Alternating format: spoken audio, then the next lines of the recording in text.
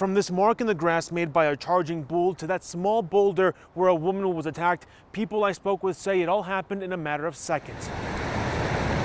For many, Estes Park is an escape.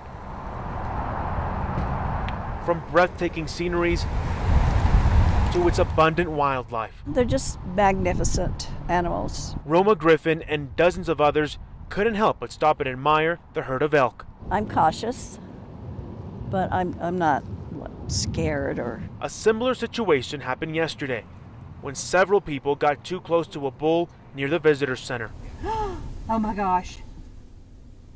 Oh my gosh.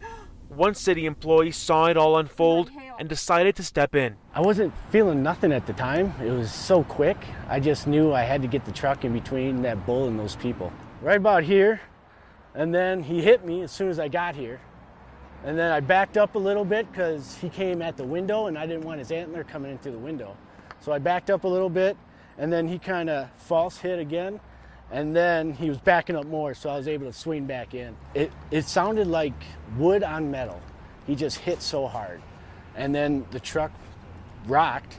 I leaned over, and then when he backed off, I leaned back in. You know, I was just staring in his eyes, thinking, he's he's pretty mad. He's headed. Back. He's coming back. Brian says there were a total of three bulls in the area. When it looked like he managed to get one to run away, he charged toward him again. And as I came back, um, this bull bugled again.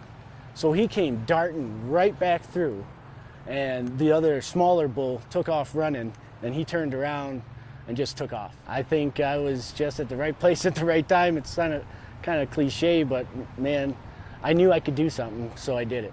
Because of his actions, nobody was injured. Colorado Parks and Wildlife says this all could have been prevented and the crowd provoked the response. They say because of Elk Fest happening this weekend, they want everyone to maintain a safe distance from elk. In Estes Park, Ivan Rodriguez, Denver 7.